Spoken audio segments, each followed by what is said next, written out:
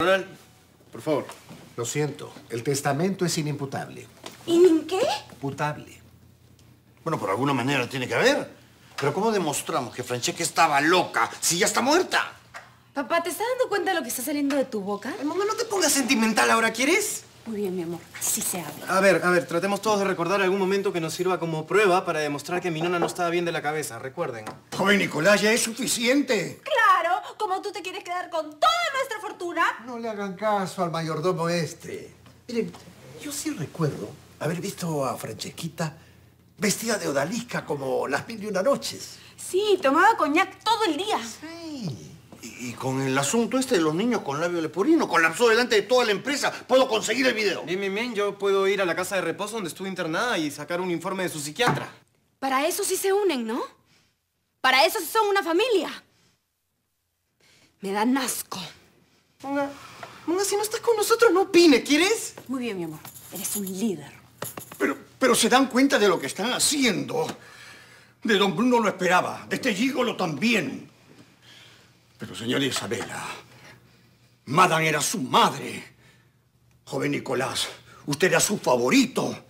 Ella daba su vida por usted. ¿En qué se han convertido ahora? Peter. Mi nona nos quería mucho a todos y, y- y te quería mucho a ti, pero... Pero ella ya no está. Y nosotros tenemos que ver por nuestros intereses. No es nada personal, por favor, no te molestes. Es que, es que no es justo. Él no puede ser el único heredero. No he terminado aún. El señor Rodolfo Rojas o Peter McKay no es el único heredero. Ah, ah, menos mal. Felizmente. Pensé que se había olvidado mí. ¿Dónde está mi nombre? Perdón. Perdonen. Eh, hola a todos. Ay. ¿Ya empezaron?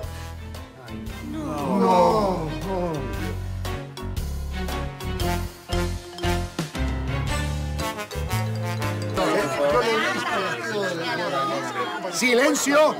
¡Silencio! Ay, Francesca, ¿cómo has adelgazado? ¡Suelta my mother! La señora Francesca había previsto esta situación. Por eso dejó un audio explicativo. Tenga. Yo ya tengo suficiente por hoy. Regreso mañana para cumplir su última voluntad. Permiso.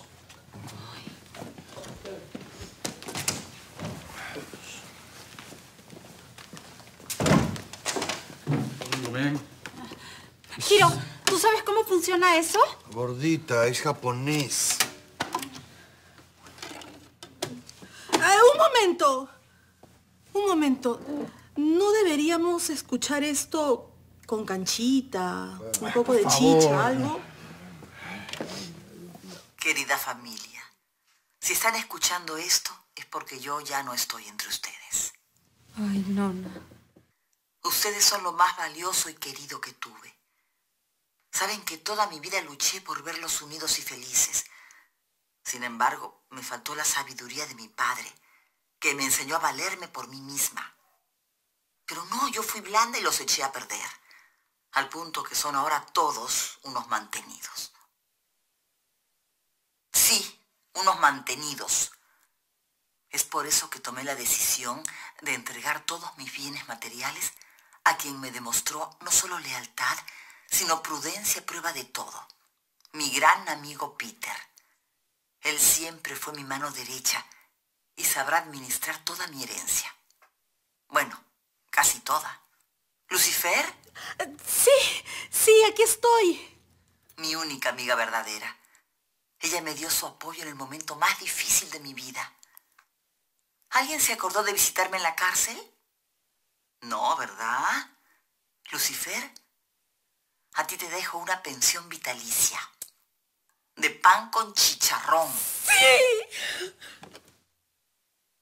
Adiós, familia. Respeten mi voluntad. Y no tengo duda de que sabrán salir adelante. Los amo. Bonita forma de amar. Bueno, si esa es la voluntad de mi nona. No entiendo, ¿no vas a hacer nada? Ay, el escuchar a My Mother me puso la piel de gallina. Pobre mi nona. ¿Pero, pero qué botón aprieto? Abogado, apáguelo, por favor. ¿Que sigue grabando? Queroche, Queroche.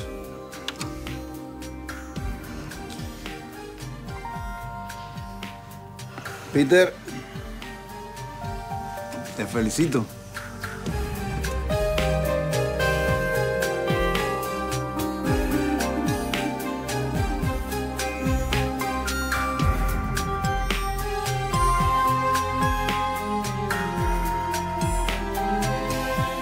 Isabela, señorita Fernanda, joven Nicolás, espero sepan disculparme. Peter, no tienes por qué disculparte. Es la voluntad de mi nona. Bravo, Peter. Bravo, ganaste. Nicolás. ¿Qué cosa? ¿Qué cosa? ¿Ahora no puedo expresar mi opinión? Ahora Peter es dueño de todo esto. Nosotros será mejor que vayamos haciendo nuestras maletas. Pero nadie los está votando. Eh, ya escuchó a Madame. Eh, solo me dejó para administrar sus bienes. Porque no confía en nosotros. Los dijo mantenidos, lo dijo clarito. Bueno, yo no sé ustedes, pero yo ya no tengo nada que hacer aquí. Peter, mis respetos. Me ganaste. Resultaste ser más gigolo que yo. Sí, no me miren así, ¿para qué ocultarlo? Enamoré a Francesca solo por su dinero. ¡Maldito gigoló! Mara no se merecía esto. Madame fue muy infeliz los últimos días de su vida gracias a mí. Eso es verdad. Sí se le veía bien contenta, sobre todo cuando jugaban al Shake Dad. Ya mejor me callo. Entonces tú la mataste. No, no, yo no maté a nadie. ¿Cuántas veces te lo voy a decir? Fue un accidente. Si hubiera sido por mí, hubiera estado con ella 20 años viviendo a costa suya. Pero no, así es el destino. Yo no sé qué van a hacer ustedes, pero yo ahora me voy a buscar una nueva cocha billetona. Permiso. ¿Y no se lleva un poquito de cenizas? Así que era verdad. Francesca y su gigoló. Ya bueno, pero nadie tiene por qué saberlo. Respetemos, por favor, la memoria de mi nona. Qué raro. Hace rato la querías declarar como loca. Eso es diferente, Ya no mona, ¿no escuchas? Uy, habló el mayordomo millonario. Lo que usted diga, Alteza. Jamás pensé eso de ti, Peter. Pero yo no hice nada. ¿Eso significa que ya no tienes plata? Bueno, señores, me voy a cobrar mi pensión vitalicia. Con permiso. Señor Peter, señor Peter. Dime, Montserrat. ¿y, eh, ¿Usted no cree que, que- que me pueda regalar la tienda de las agendas, de las agendas de los gatitos? ¿De los qué? De los gatitos. Por favor.